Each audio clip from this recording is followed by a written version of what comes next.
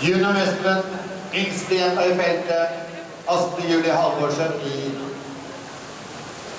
bane fem. Og uh, jenta som eh, henne for medalje i Drammen i fjor med 15 små hundredeler i bane tre, Anne Sætra Skjefte. Mellom dem har vi den doble mesteren både fra kort og lang og lang igjen. Eh, Pedersen, selvfølgelig. Kristine Volderud. Og Den øvelsen vant jo Kristine sist år, som var inne på på 2.17. To så så ingen annen Sætre Skjefte tok bronsen etter Veronica Bjørlykke på 2.22.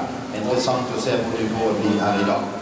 Og Bjørlinge stiller ikke. Den er skadet, men 32,79 så har han allerede opp til halvsvømmedistanse fått seg en eh, kroppslengde. Og det er Astrid Julie som har eh, en eventyrlig tett vending inntil veggen. Det var nesten så hun ikke fikk sparket fra, men hun er eh, klart i føringen om annenplassen. Tredjeplassen til Ine Kvenshagen Gimse. 1.07,90 på Kristine. Ja, 35-1 må ligge rundetider der nede hvis det skal bli en tid ned mot 2.18. Og opp til eh, 150 meter passering. Hvor eh, Kristine splitter eh, 1.43, 56 og 35. Og da har vi 2.18 vel. Hun hadde 2.17 i fjor. Så det skal være akkurat rundt det eh, sjiktet. Fremdeles Sina Kvenshagen Gimse igjen der på tredjeplassen.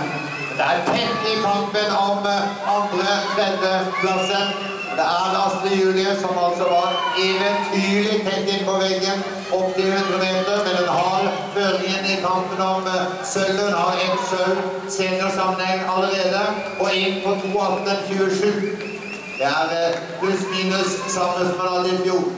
Og eh, 2.24 var vi oppe i for eh, sølvet.